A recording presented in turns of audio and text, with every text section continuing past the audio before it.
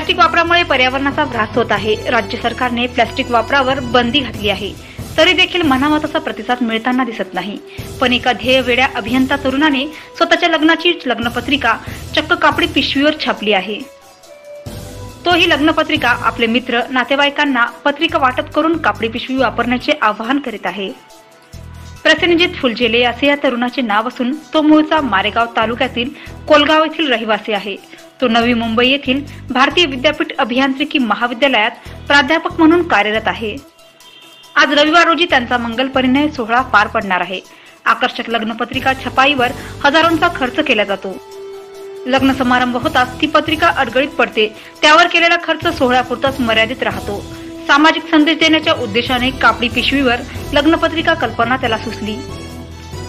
कापडी पिशवी वापरा प्लास्टिकचा वापर टाळा मुलगा मुलगी एक समान भारतीय संविधानामुळे मिळालेले अधिकार असे उद्देशिकेतील मजकूर कापडी पिशवीवर छापले आहेत.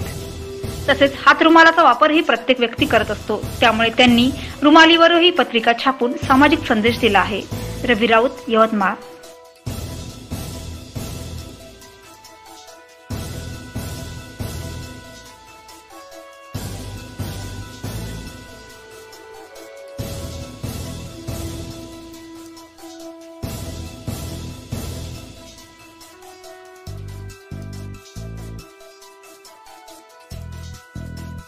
प्रसिद्धी त्यांनी इको फ्रेंडली पत्रिका तयार केलेली आहे. त्यांनी पिशवीवर पत्रिका छापली आणि त्यावर संदेश दिला आहे. भारतीय संविधानात जे आर्टिकल आहेत चौदा पंधरा एकोणीस एकवीस तेवीस ते तीनशे सव्वीस आर्टिकलपर्यंत की आपले समानतेचा अधिकार कोणता आहे? आणि भेदभाव करण्यास मनाई कशी करण्यात आली आहे? आपलं मत व्यक्त करण्याचा अधिकार कसं कुठले अधिकार आहे? या सर्वांचा उहापोह त्यांनी आपल्या पत्रिकेमधून केला आहे. शिवाय कापडी पिशवी वापरून म्हणून प्लॅस्टिकचा वापर टाळण्याचं त्यांनी आवाहन केलं. तसेच मुलगा आणि मुलगी असा भेद करू नये हा उपदेशसुद्धा त्यांनी केला. या व्यतिरिक्त त्यांनी भारतीय संविधानाची जी उद्देशपत्रिका आहे जी घराघरात वाचली जायला पाहिजे ही ती उद्देशपत्रिका जास्तीत जास्त लोकांच्या पर्यंत पोहोचवण्याचा या पत्रिकेच्या माध्यमातून अतिशय स्मरणीय असा उपक्रम ते- राबवत आहे. या उपक्रमाबद्दल त्यांचं निश्चितच कौतुक केलं पाहिजे अशी ही पत्रिका आहे लग्न म्हटले की पहिला सुरुवात होतो पत्रिकेपासून. तर बऱ्याचदा पत्रिका आपण कागदाच्या असतात त्या काम झालं की फेकण्यातच जातो. माझा उद्देश होता की उपयोगी यावं. मग कापडाच्या पिशवीवर पत्रिका छापल्यामुळे दोन उद्देश साध्य होतात. पहिला उद्देश म्हणजे पर्यावरणाचा बचत होतो. कारण आता आपण प्लास्टिकमुळे खूप नुकसान होतात तर मी त्याच्यावर संदेश पण लिहिला.